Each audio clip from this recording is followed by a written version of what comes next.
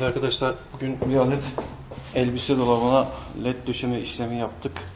Şuraya bir tane de switch koyduk. Kapı açılınca otomatik olarak devreye girmesini sağladık. Bunun resimlerini yine sizlerle paylaşacağım. Sistem şu şekilde. İşte elektrik kablom buraya kadar geldi arkadaşlar. Gördüğünüz üzere. Buradan adaptöre giriş yaptık. Adaptörümüz yeterli olacak şekilde. 2.5 amperlik bir adaptör. Ee, adaptörün bağlaması LN yazanlara e, şebekeyi bağladık. L ve N faz nötrü. Burada da V artı V eksi var arkadaşlar. Eksi artı uçlarımıza çıktık. Artı ucumuzu burada switch'e girdik. Switch'ten çıkışımızı aldık. Switch'imizin normalde açık, normalde kapalı kontakları var. Ee, normalde e, açık kontaklarını kullandık. Artı buradan çıktı. Buradan led- şerit ledimizin artı ucuna girişimizi yaptık arkadaşlar. Eksi beslememiz de tekrar güç kaynağımızdan geldi. Böyle basit bir çalışma gerçekleştirdik.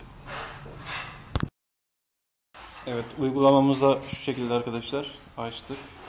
Gördüğünüz üzere elimizdeki malzemelerle tam dönemedik. Dönseydik daha bir güzel olacaktı tabii de.